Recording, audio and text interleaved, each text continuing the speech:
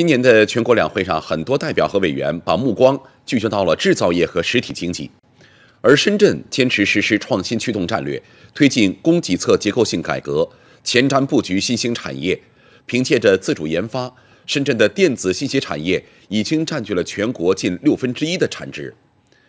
刚刚在西班牙落幕的世界移动通信大会上，深圳制造在展会现场再掀起热潮。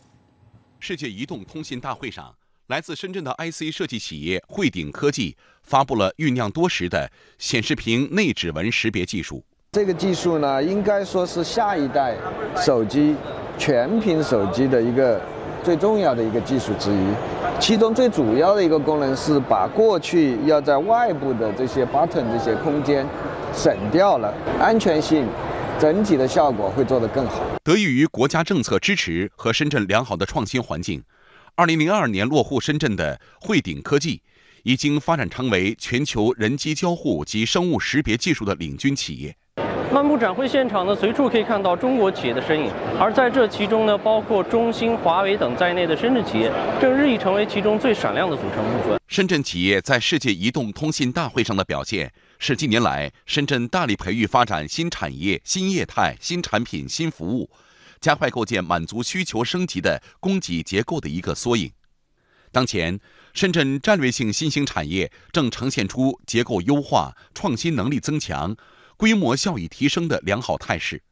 去年，深圳战略性新兴产业增加值七千八百四十七点七二亿元，占 GDP 的比重为百分之四十点三；先进制造业增加值五千四百二十八点三九亿元，增长百分之八点五。占规模以上工业增加值比重百分之七十五点四。我感觉得益于三个方面：第一个，得益于我们比较早的抓住机遇，布局了一大批这个新兴产业；第二个呢，我们是比较早的进行了转型升级，清理淘汰了一大批低端落后企业；那第三个呢，我们感觉这个最重要的还是得益于我们深圳市政府一直致力于建设市场化、国际化的营商环境。据悉，自二零零零年以来。我市先后九次修订了产业结构调整优化和产业导向目录，从科技水平、经济效益、环保、能耗等方面提高企业进入门槛，主动淘汰转型高污染、高能耗、低附加值、存在重大安全隐患的企业。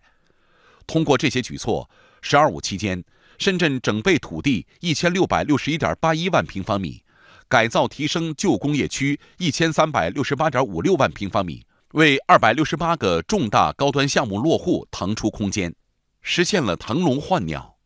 二零一六年，深圳经济总量达到一万九千四百九十二点六亿元，百分之九的增速位居全省第一。